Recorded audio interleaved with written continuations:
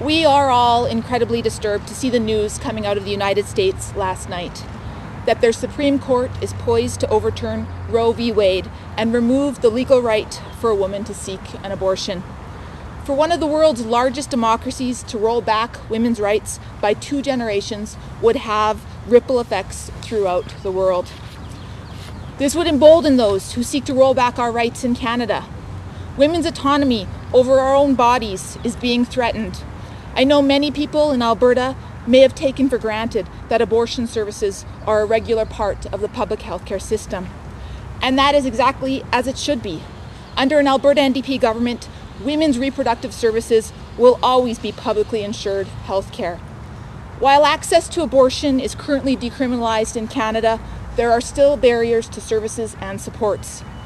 There is currently a bill before the House allowing bereavement leave for pregnancy loss, but this bill only provides leave when a woman has a miscarriage or stillbirth. It discriminates in terms of the kinds of pregnancy loss a woman experiences. This bill must define pregnancy loss to include abortion and termination for medical reasons. We will be putting forth amendments in the House to make these changes to the bill and we will see how the UCP votes. I know that many Albertans are concerned over this news and what it will mean for us here in our province. I am one of them, as are my colleagues, all of them.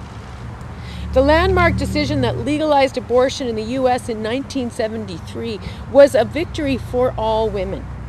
But we know that, that those who seek to roll back women's rights, those who seek to reinstate discrimination against women have never rested. This recent news is yet more evidence that the fight for equality may truly never be over. It's a stark reminder that elections have consequences and that our most basic right to control our own bodies is still under threat.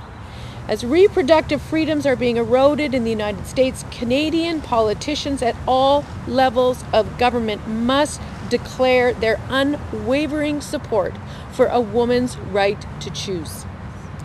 I give Albertans my categorical guarantee that an NDP government will do everything we can to protect, to protect reproductive rights here in Alberta and frankly across this country.